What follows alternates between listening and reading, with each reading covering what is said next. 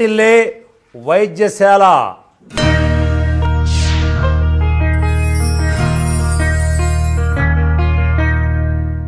మా ప్రియమైన కుమార్తెలు మా మేనకోడళ్ళు మా తల్లులు మా సోదరీమణులో ఈరోజు ఇంటింటిలో మనిషి మనిషి ఒక పెద్ద సమస్యగా బాధపడుతూ ఉన్న అజీర్ణము మలబద్ధకము దరిద్రమే. అన్ని రోగాలకు మూలం ఇవే. అజీర్ణము లేకుండా రోగము లేదు మలబద్ధకము లేకుండా మనిషికి రోగము లేదు. ఈ రెండు ఎప్పుడు కలుగుతాయో అప్పుడు సర్వరోగములు శరీరములో పుట్టుచున్నవి పెరుగుచున్నవి మనలను నాశనము చేయుచున్నవి. అందువలన మనల్ని నాశనం చేయకముందే వాటిని మనమే నాశనము చేయాలి.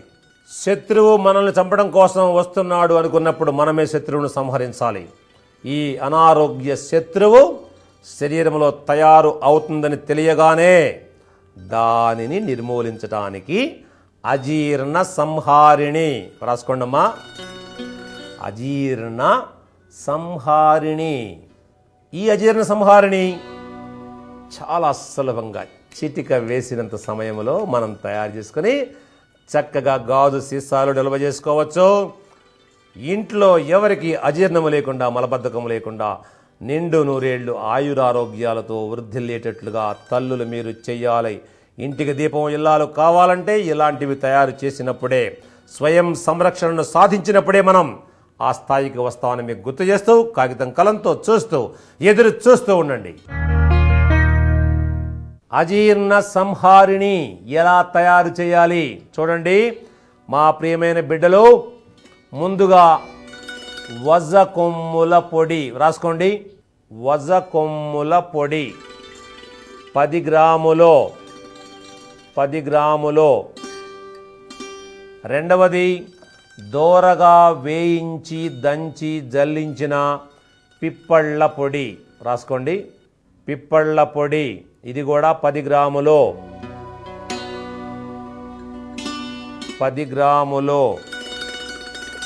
తర్వాత ఇంగువ మంచి మేలు రకమైన ఇంగువను మనం సంపాదించుకొని వాటిని ఒక పాత్రలో వేసి పొంగించి దించి దంచి జల్లించాలి. ఇది కూడా పది గ్రాములు.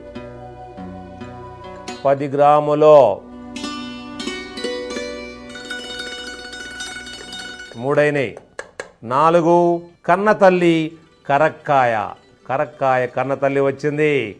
ఇంకా అజీర్ణం ఎక్కడా అగ్నిమాంద్యం ఎక్కడా మలబద్ధకం ఎక్కడా తల్లిని చూస్తే ఏదైనా దుష్ట శక్తి పారిపోతుంది.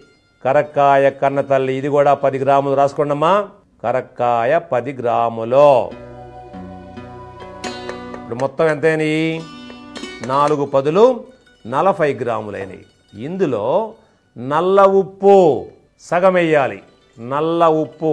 మెత్తగా దంచి జల్లించుకున్న నల్ల ఉప్పు పొడి ఇరవై గ్రాములో ఇరవై గ్రాములో. చూడండి ఇందులో వేశాం. ఇది చేయటము ఎంత సులభమో కలుపు శుభ్రం దీన్ని దీనివల్ల ఫలితము అంత అసామాన్యమో. తయారు చేసుకోవడం చాలా సులభం వాడుకోవడం సులభం ఫలితం చాలా గొప్పది. మహత్తరమైనటువంటిది. అజీర్ణము అగ్నిమాంద్యము కడుపు నొప్పి కడుపు ఉబ్బరము మలబద్ధకము. ఇలాంటి దరిద్రమైన ఉదర సంబంధ వ్యాధులను నిశ్శేషముగా హరించి వేయగల మహాశక్తి ఇది.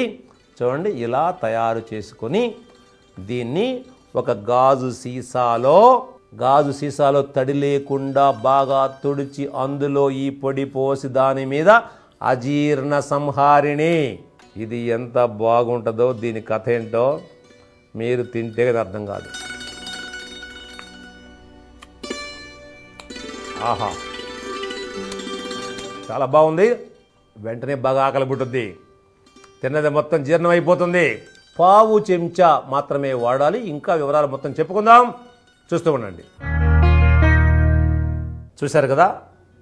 హాయ్ చాలా సులభమైంది. పిప్పళ్ళు వస ఇంగువ కరక్కాయ నల్లుప్పు. అస్సలు ఇవన్నీ మనకి ఇంట్లో ఉన్నవే. కలిపేశాము చక్కగా ఏం చేసాం సీసాలో పెట్టినాం పావు చెంచా మోతాదుగా. రాసుకోండి. పావు చెంచా మోతాదుగా అంటే పావు టీ స్పూన్ మోతాదుగా ఒక కప్పు గోరువెచ్చని నీళ్ళతో భోజనము చేసిన తరువాత లోపలికి సేవిస్తూ ఉంటే తిన్న ఆహారము మొత్తము ఇబ్బంది లేకుండా పచనమైపోవుచున్నది వంటబట్టుచున్నది ధాతు రూపము చెందుచున్నది. త్రిదోషములను సమముగా ఉంచుతున్నది. ఇంతకన్నా ఆనందము ఇంతకన్నా ఐశ్వర్యము మరొకటి లేనే లేదు. చాలా సులభమైంది. కానీ ఇవాళ మన కుటుంబాలలో ఆడపిల్లలు ఈ కొంచెము కూడా కష్టపడటానికి చాలామంది వెనుకాడుతున్నారు. ఈ చక్కని ఆరోగ్య సూత్రాన్ని మా ప్రియమైనటువంటి మా కుమార్తెలు మా మేనకోడళ్ళు ఈరోజే వెంటనే మీరు తయారు చేసి అవసరమైనప్పుడల్లా వాడుతూ ఇంటెల్ల పాదికి ఆరోగ్యం అందించే బాధ్యతను మీరు తీసుకొని మన కుటుంబాన్ని పెంచుకుంటూ ఎంతమంది మన కుటుంబంలో సభ్యులుగా ఉన్నారో వాళ్ళందరి చిరునామాలు మాకు పంపించి మా ద్వారా వారం వారం మంచి ఆరోగ్య సందేశాలను మీ సెల్ ఫోన్ నంబర్లకు అందుకోవలసిందిగా మీ అందరినీ కోరుతూ చెప్పండి బిడ్డలు. జై ఆయుర్వేదం. జై జై ఆయుర్వేదం.